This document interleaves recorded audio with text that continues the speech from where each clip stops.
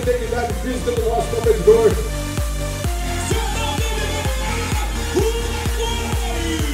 Faz de conta que eu não conheço essas feras aqui, que são, com certeza, entre tantos salva-vidas anjos da arena no espalhados pelo Brasil, aqui em Neves Paulista, tem quatro dos melhores, com certeza. Você é o Douglas.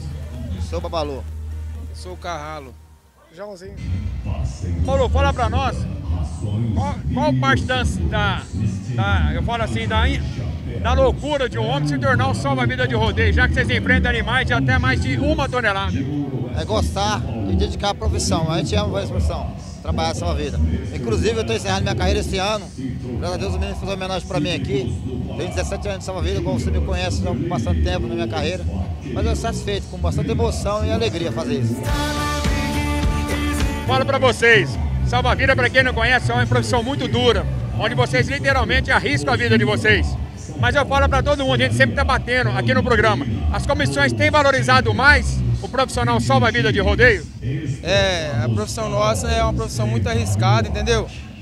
Certas comissões hoje vêm valorizando muito o trabalho da gente, entendeu? A gente sempre pede mais para a valorização chegar cada vez mais na nossa profissão, entendeu?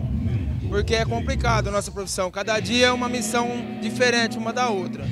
Bom, gente, então fica aqui em nome dessas quatro feras. Daqui a pouco vocês vão ver o trabalho deles ali dentro da arena. E vocês, presidente de festa do Peão de Boiadeiro, valorizem não só esses meninos aqui, mas todos os salva-vidas que trabalham dentro das arenas de rodeio de todo o nosso Brasil. Fica aqui em nome do nosso programa Vaguinho Animal, 8 segundos ao limite, o trabalho dessas feras diretamente para vocês aqui ó, no SBT Interior.